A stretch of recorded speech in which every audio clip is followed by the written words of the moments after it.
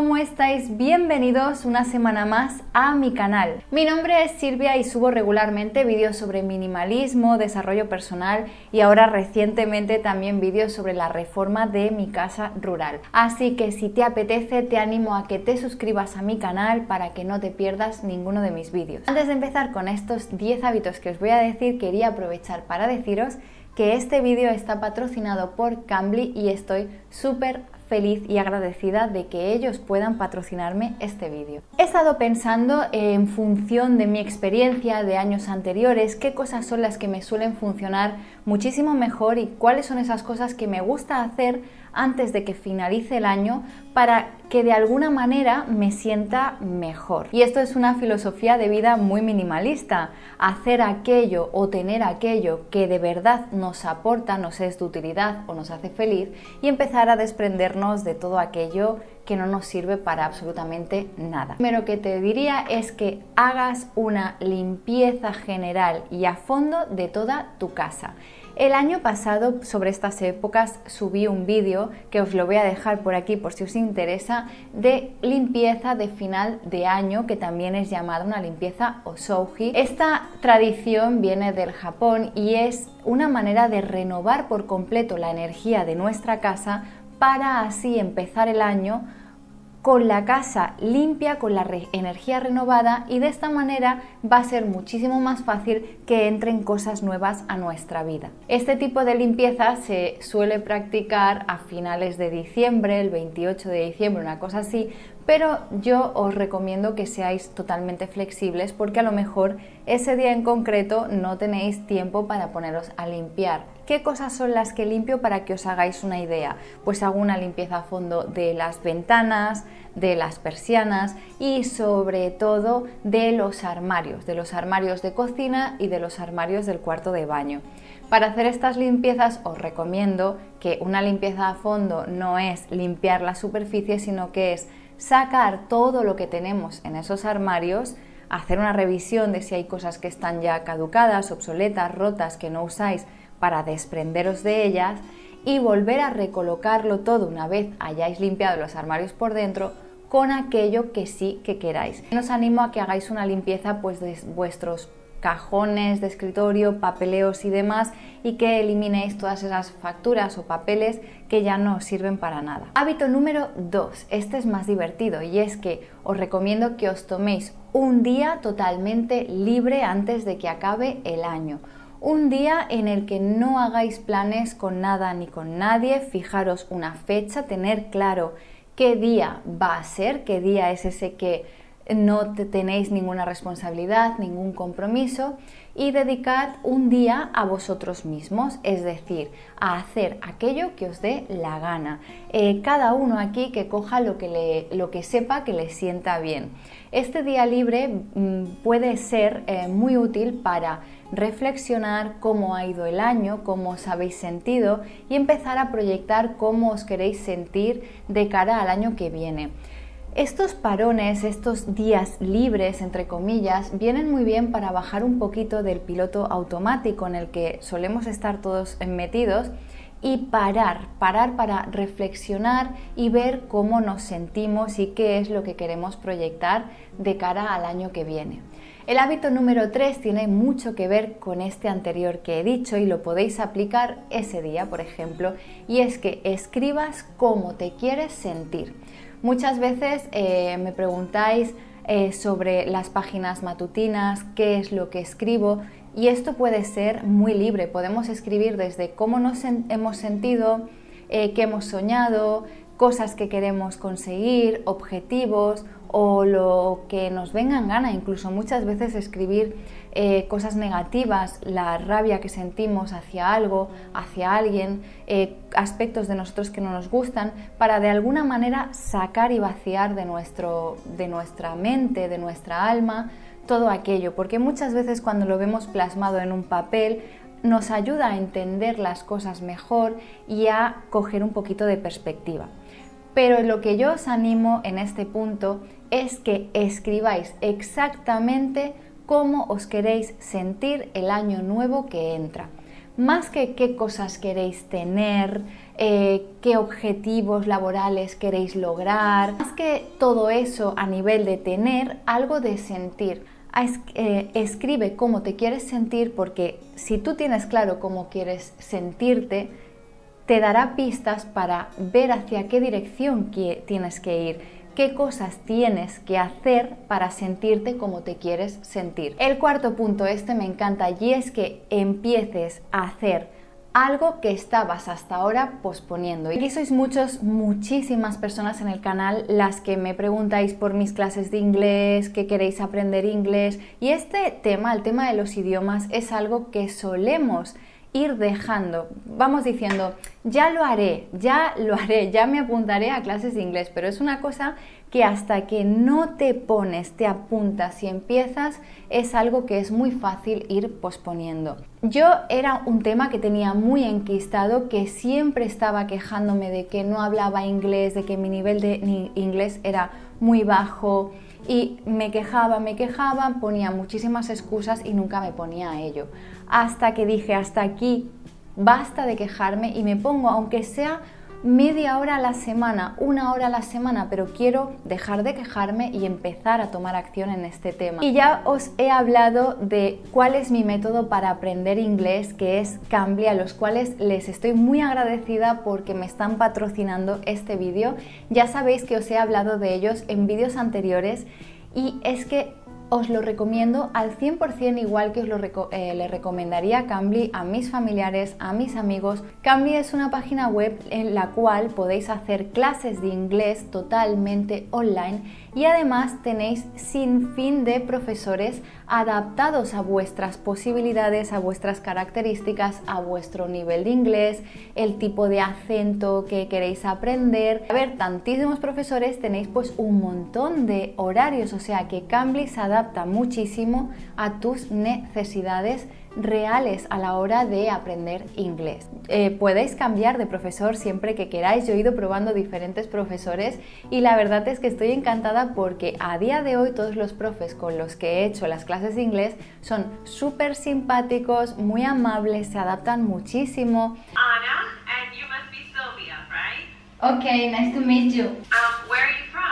Uh, my name is Silvia. I'm from Barcelona, Spain. All right, so in this first question. Can you read the first question also? Yes. Uh, what is an activity you like doing outside of work?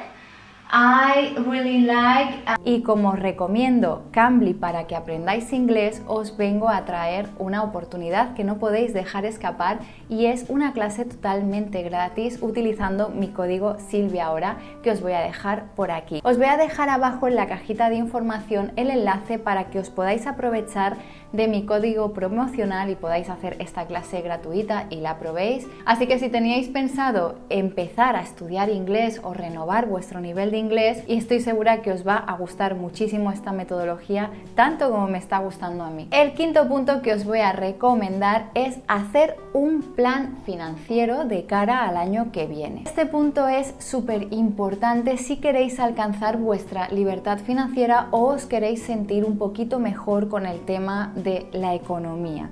Hacer un balance de cuáles son las ganancias, cuáles son los gastos y empezar a valorar en qué podemos eh, reducir gastos, cuáles son las prioridades y valorar si de algún sitio estamos pagando pues más de lo que en realidad podemos permitirnos como mínimo tener conocimiento de cuál es nuestra situación y una vez tenemos ese conocimiento de cómo están nuestras cuentas, empezar a marcarnos unos pequeños objetivos, objetivos de ahorro. Si no podemos optar a ganar más dinero, siempre podemos optar a gastar algo menos. Y todo esto es muy personal de cada uno de vosotros, sí que algo común que podemos hacer todos por igual es tener conocimiento de cómo está nuestra situación financiera y mirar de qué manera podemos reducir gastos. Y el punto número 6 es hacer una depuración general de nuestro cuerpo. Al igual que en el punto número 1 os he recomendado hacer una limpieza general de toda la casa,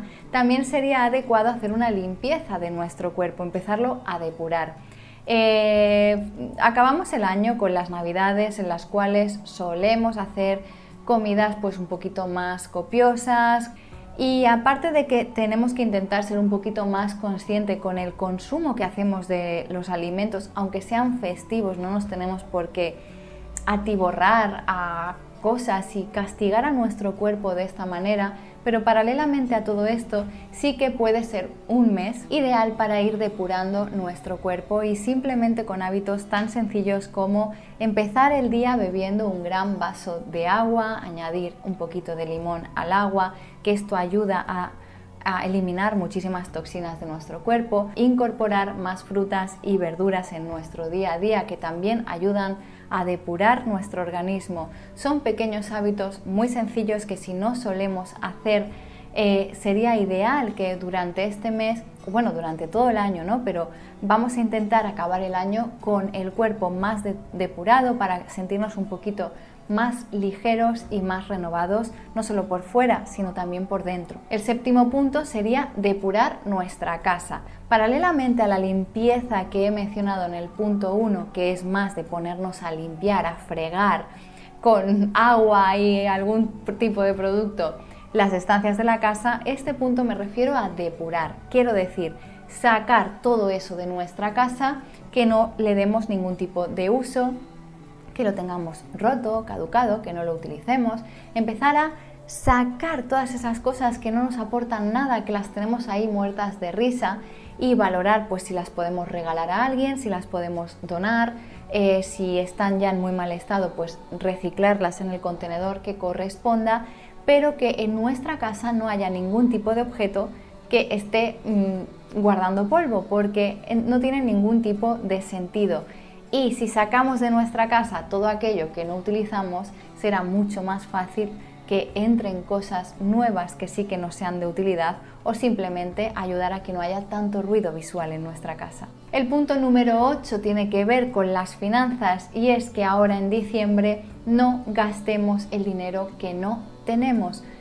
Es un punto muy básico, pero mm, no hay que caer en la trampa. Estamos en unas semanas de consumismo exagerado, es campaña de Navidad, de Reyes y demás, entonces es normal que nos estén bombardeando muchísimo con comprar mogollón de regalos para los demás y es fácil entrar en el trapo de querer consumir, de querer gastar, de querer tener muchísimas cosas y a veces medimos el amor que tenemos por los demás en función de los regalos que les hacemos.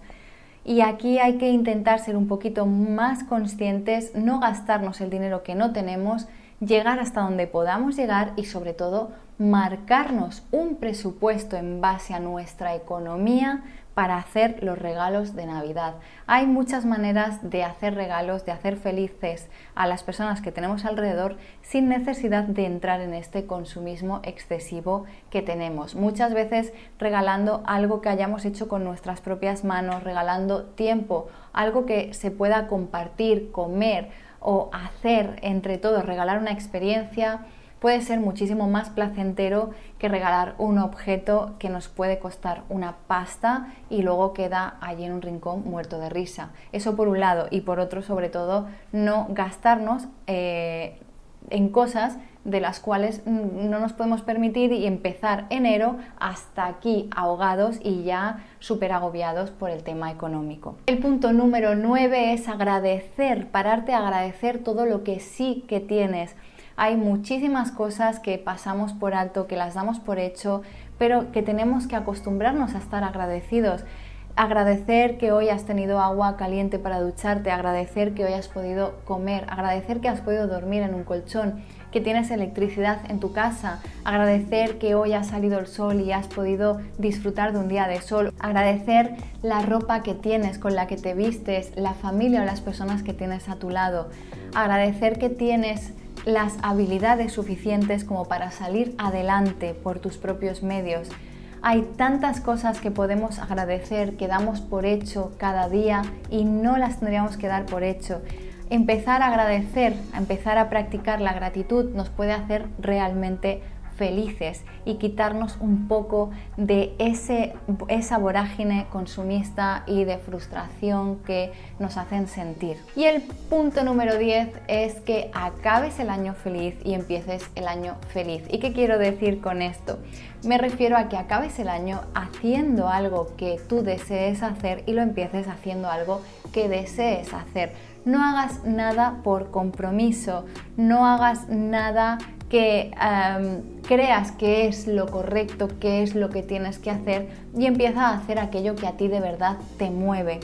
Pero tú busca qué es aquello que a ti te llena, a ti te hace feliz y acaba el año regalándote una tarde, una noche rodeado de personas a las cuales quieras, haciendo aquello que quieras, comiendo aquello que a ti te apetezca y te haga bien y empieza el año también así, de una manera feliz, que el primer día del año, la primera mañana del año, hagas aquello que te llena, que te aporta, independientemente de que a tu alrededor no le guste, si te gusta a ti, tú hazlo, solo tienes una vida, solo tienes ese primer día del año así que aprovechalo. Pues hasta aquí esos 10 hábitos que hacer antes de acabar el año. Espero que os hayan gustado. Comentarme cuál tenéis muy claro que sí que vais a hacer o añadir alguno que creáis que queréis hacer antes de que acabe el año. Estaré encantada de leerlo.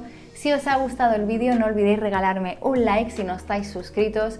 Por favor suscribiros que cada vez somos más y estoy súper contenta de ello y os agradezco muchísimo a todos y cada uno de vosotros el apoyo que me estáis brindando. Ahora solo me queda despedirme, deciros que nos vemos en el siguiente vídeo y que no me faltéis, ¿eh? ¡Adiós!